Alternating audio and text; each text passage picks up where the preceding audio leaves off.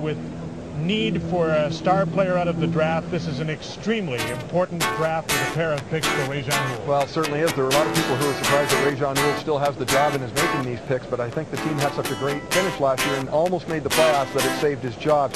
Now, if he's going to stay in the position of general manager of the hockey club, he's got to do something big here. He's got to pick players who are good early.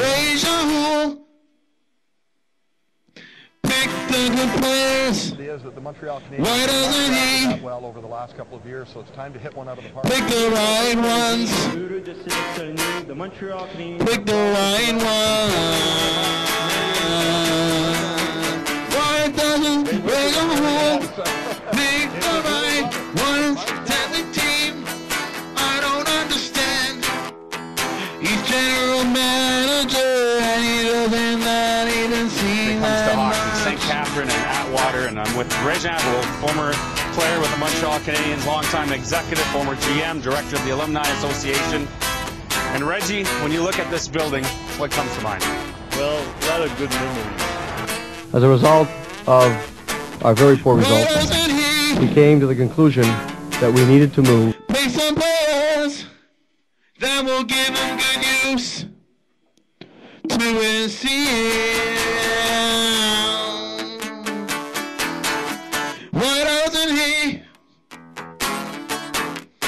Play for the team? Then he will score every single I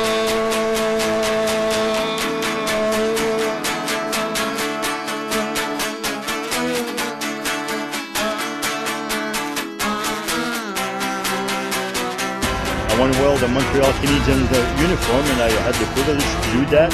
Having Jean Beliveau as a captain, winning my first Stanley Cup in '71 was something special. Then my second Stanley Cup, Henri Richard as the captain, won 11 Stanley Cup. Then you go to Yvan Cournoyer, who won 10 Stanley Cup, and then Serge Savard, who won 8. So you, you go through all those years, great moments was, were unbelievable.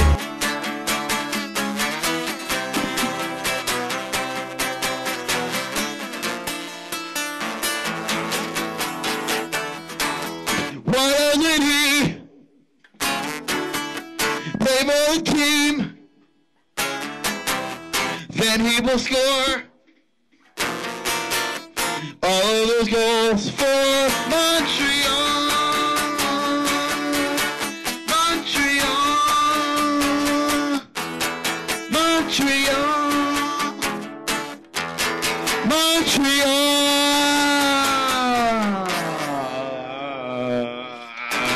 Guys, the 100 year anniversary mean to this province, to this city, to the people that cherish this team?